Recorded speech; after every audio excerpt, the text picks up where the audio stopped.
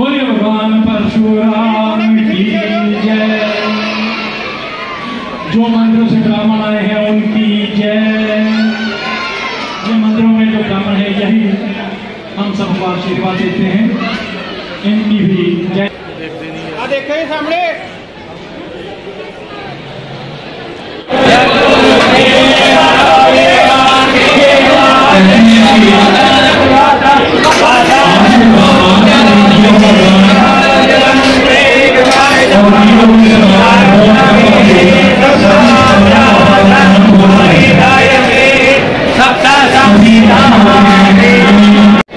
Sir इधर देख।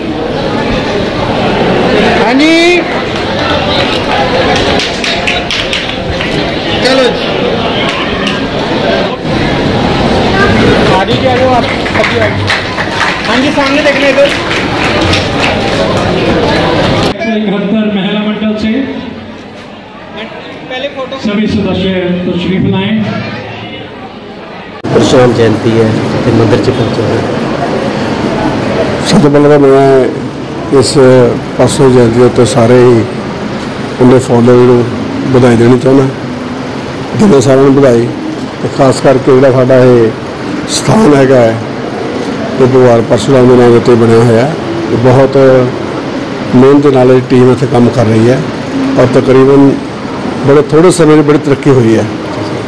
ਪਰ ਅੱਜ ਸਾਨੂੰ ਸਾਰਿਆਂ ਨੂੰ ਜੋ ਭਗਵਾਨ ਪਰਸ਼ੁਰਾਮ ਦੀਆਂ ਸਿੱਖਿਆਵਾਂ ਨੇ ਜੋ ਉਹਦੀ ਸੋਚ ਸੀ ਉਹ ਤੇ ਪਰਾਂ ਲੈਣ ਦੀ ਜ਼ਰੂਰਤ ਹੈ ਤਾਂ ਕਿ ਜੋ ਸਾਡਾ ਸਮਾਜ ਦਾ ਭਾਈਚਾਰਕ ਸਾਂਝ ਮਜ਼ਬੂਤ ਹੋਵੇ ਨਾਲ ਸਾਡਾ ਸਮਾਜ ਵਧੇ ਫੁੱਲੇ ਤੇ ਅੱਜ ਮੈਂ ਇੱਥੇ ਨਤਮਸਤਕ ਹੋ ਕੇ ਬੜਾ ਆਪਣਾ ਨੂੰ ਮਾਣ ਮਹਿਸੂਸ ਕਰਦਾ ਕਿ ਮੈਂ ਮੈਨੂੰ ਚੰਗਾ ਮੌਕਾ ਮਿਲਿਆ ਤੇ ਮੈਂ ਧੰਨਵਾਦ ਕਰਦਾ ਤੇ ਸਰ ਇੱਕ ਪਟਿਆਲੇ ਚ ਦੋ ਦਿਨ ਪਹਿਲਾਂ ਘਟਨਾ ਵਾਪਰੀ ਹੈ ਉਹਦੇ ਬਾਰੇ ਸਰ ਆਪਣੇ ਕੀ ਰਾਏ ਹੈ? ਜੋ ਕੁਝ ਮਾਹੌਲ ਪੰਜਾਬ ਚ ਦੇਖਣ ਨੂੰ ਮਿਲਿਆ ਕਿ? ਮੈਂ ਉਹਦੇ ਬਾਰੇ ਕੋਈ ਗੱਲ ਨਹੀਂ ਕਰਨੀ ਚਾਹੁੰਦਾ।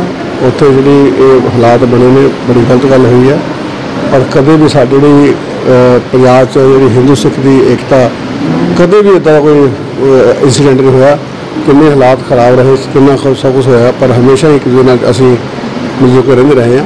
ਪਰ ਕਿਸੇ ਨੂੰ ਹਾਲਾਤ ਜਾਂ ਕਾਨੂੰਨ ਨੂੰ ਆਪਣੇ ਹੱਥ ਲੈਣ ਨੂੰ ਜਿਹੜੇ ਤੇ ਸਖਤ ਸਾਨੂੰ ਪਾਉਣ ਦੀ ਜ਼ਰੂਰਤ ਤੁਸੀਂ ਹੈ ਆਪ ਵੀ ਕੈਬਨਿਟ ਮਿਨਿਸਟਰ ਰਹੇ ਹੋ ਤੇ ਮਤਲਬ ਪੰਜਾਬ ਨੂੰ ਵਿਚਰੇ ਹੋ।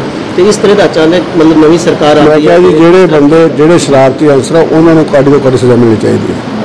ਇੱਕ ਸਰ ਤੁਸੀਂ ਕੈਬਨਿਟ ਮਿਨਿਸਟਰ ਪੰਜਾਬ ਚ ਰਹੇ ਹੋ ਤੇ ਸਰਕਾਰ ਨੇ ਦੂਜੀ ਸਰਕਾਰ ਆਈ ਹੈ ਡੇਢ ਮਹੀਨੇ ਦਾ ਸਮਾਂ ਹੋਇਆ ਕਿਸ ਤਰ੍ਹਾਂ ਦੀ ਇਹਨਾਂ ਦੇ ਕੰਮਕਾਜ ਨੂੰ ਦੇਖਦੇ ਹੋ ਕੀ ਕਹਿਣਾ ਚਾਹੋਗੇ ਸਰ ਆਮ ਆਦਮੀ ਪਾਰਟੀ ਦੇ? ਜੇ ਤੁਸੀਂ ਜ਼ਿਆਦਾਤਰ ਲੋਕਾਂ ਨੂੰ ਜਾ ਕੇ ਪੁੱਛੋ ਜ਼ਿਆਦਾ ਬਿਹਤਰ ਕਿਉਂਕਿ ਮੈਂ ਜੋ ਗੱਲ ਕਰਾਂਗਾ ਉਹਨਾਂ ਕਹਣਾ ਇਹ ਗੱਲ ਲਾ ਕੇ ਕਰਦੇ ਹੈਗੇ ਜਾਂ ਸਾਡੇ ਆਪੋਜੀਸ਼ਨ ਦੇ ਤੌਰ ਤੇ ਗੱਲ ਕਰਦੇ ਆ।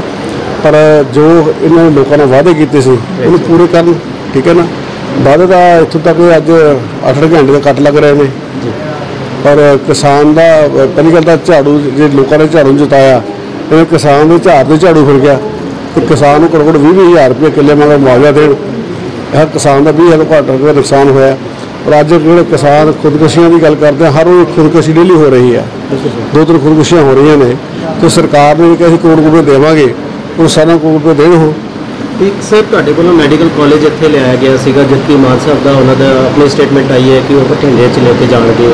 ਮੈਡੀਕਲ ਕਾਲਜ ਉੱਥੇ, ਉਹਨਾਂ ਨੇ ਸੰਗਰੂਰ ਵਗੈਰਾ ਚ ਮਤਲਬ ਉੱਥੇ ਬਣਾਉਣਾ।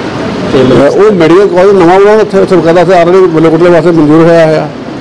ਮੈਡੀਕਲ ਕਾਲਜ ਮੋਹਾਲੀ ਦਾ ਮੋਹਾਲੀ ਚ ਰਹੂਗਾ ਇੱਥੋਂ ਸਾਡੀ ਲਾਸਟ ਤੋਂ ਲੰਘ ਕੇ ਤੇ ਲੈ ਕੇ ਜਾ ਵੈਸੇ ਜਾ ਨਹੀਂ ਸਕਦਾ। ਔਰ ਸ਼ੁਰੂ ਹੋ ਗਿਆ।